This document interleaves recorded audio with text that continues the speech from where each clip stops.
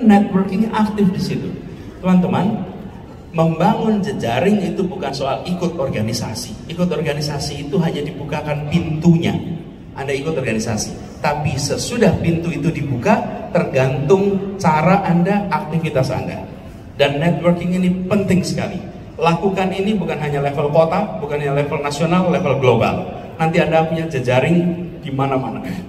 Dan hari ini teman-teman, semua punya jaringan sosial media tapi sosial media kita ini hampir 90% adalah alat untuk merawat hubungan masa lalu, bukan alat untuk membangun hubungan masa depan.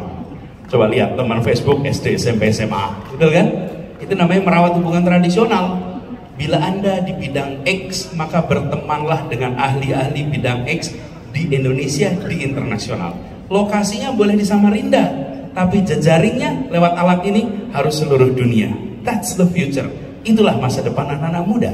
Jadi jejaring itu bisa manfaatkan alat ini untuk berteman, untuk menjangkau. Dan kemudian apa yang terjadi? Satu, Anda bisa menyerap gagasan dari luar dan yang tidak kalah penting, gagasan Anda akan di, juga diterima oleh orang-orang lain.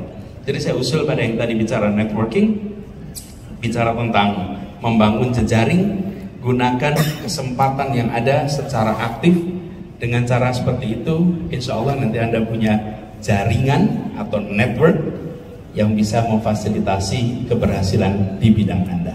Gitu ya, terima kasih. Terima kasih Pak Anies. Bisa teman-teman?